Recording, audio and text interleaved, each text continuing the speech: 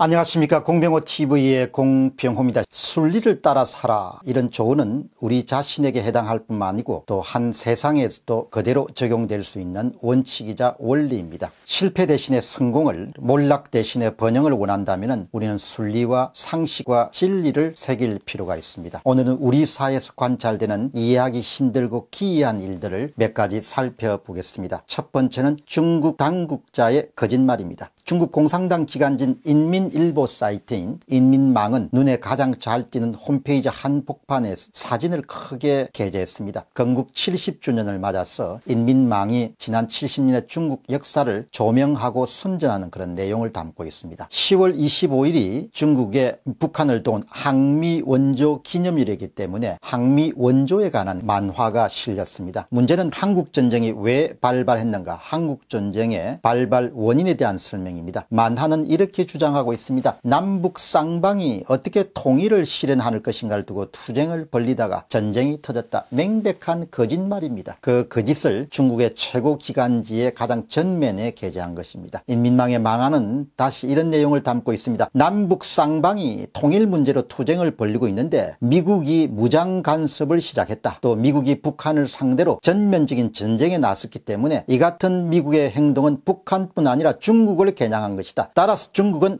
항미 원조 보가 위국 집을 보호하고 나라를 지키는 전쟁에 참석하지 않을 수 없었다. 그리고 미국에게 패배를 안겼다. 이런 거짓말을 버짓이하는 겁니다. 중국 공산당과 중국의 고위 당국자들은 옳은 것과 옳지 않은 것이 명확하지 않습니다. 자신들의 이익이 되면 모두 다 옳은 일인 것입니다. 그들의 태도는 한국의 양식 있는 사람들에게 참으로 기이하고 괴상망측한 것입니다. 그러나 일상의 한 부분이고 상식적인 것입니다. 그들에게는 조작이나 왜곡이 범죄라는 인식 이 희박합니다. 좌파나 좌익이나 전체주의 사회를 살아가는 사람들이 가진 공통된 의식은 옳은 것과 옳지 않은 것이 명확하지 않다는 것입니다. 선과 악이 명확하지 않다는 것입니다. 현재 중국 체제가 지속되는 한 이 같은 자세와 태도는 변할 가능성이 아주 낮습니다. 따라서 우리 사회에서 신중을 외치는 사람들은 이처럼 변할 수 없는 명백한 사실을 깊이 인식해야 될 것입니다. 두 번째입니다. 지속되는 한일 관계 관계의 경색입니다. 문 대통령은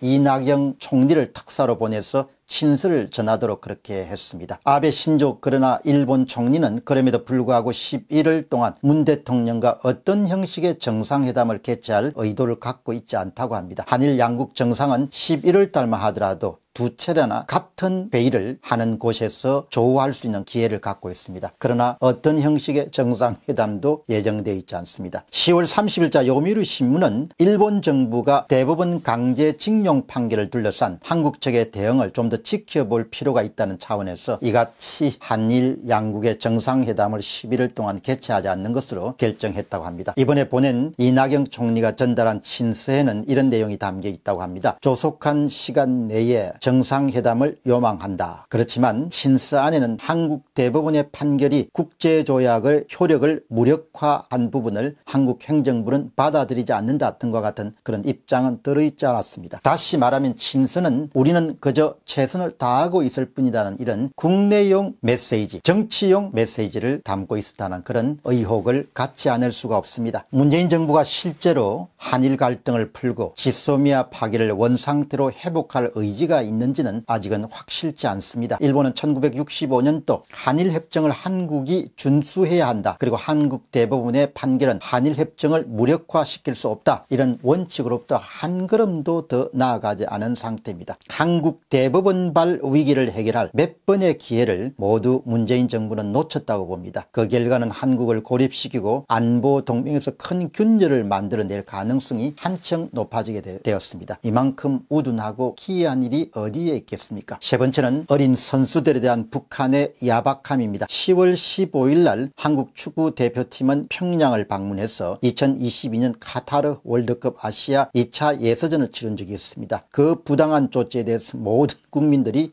분노하였습니다. 근데 이번에는 방한한 학생들은 주니어 선수들입니다. 그러나 그 주니어 선수들은 머무는 동안 호텔을 거의 벗어날 수가 없었다고 합니다. 북한 관중은 한국 선수들이 경기할 때나 시상 때 할 때 우르르 하고 다 경기장 바깥으로 나가버렸습니다. 그랬다가 북한 선수가 경기를 하거나 시상식이 되면 또 우르르 들어와서 국가를 재창했습니다. 정상적인 나라, 정상적인 사람들이 아닙니다. 따라서 정상적인 나라나 정상적인 사람이 아니라는 그런 가정을 갖고 우리가 대북한 정책을 가동시켜야 될 것입니다. 정상이 아니라 기이한 나라, 기이한 사람이라는 그런 가정을 갖고 우리가 접근할 때 대북 정책에서 실책이나 실수를 크게 줄일 수 있을 것이다. 그렇게 봅니다. 하루속히 그런 기이한 일들이 일어나지 않는 나라가 되기 위해서 우리가 최선을 다해야 될 것입니다.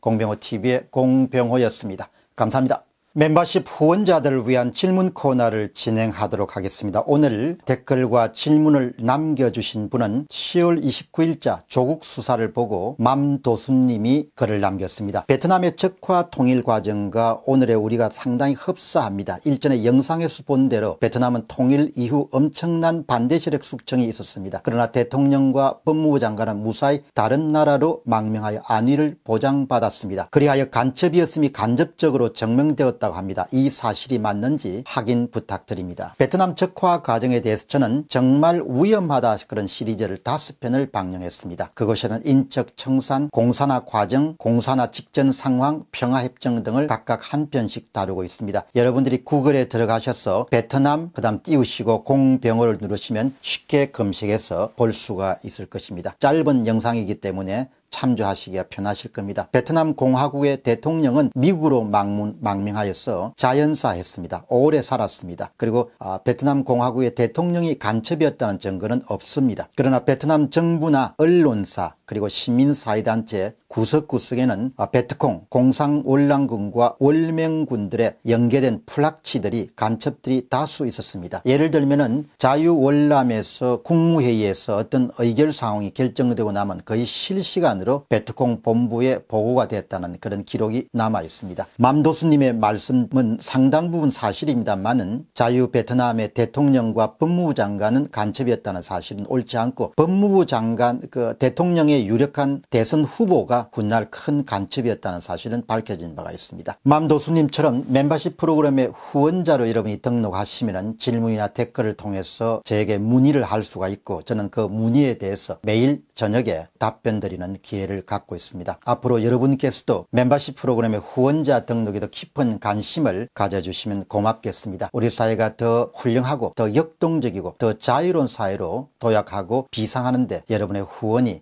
씨앗을 뿌리는 역할을 담당하리라 봅니다. 감사합니다.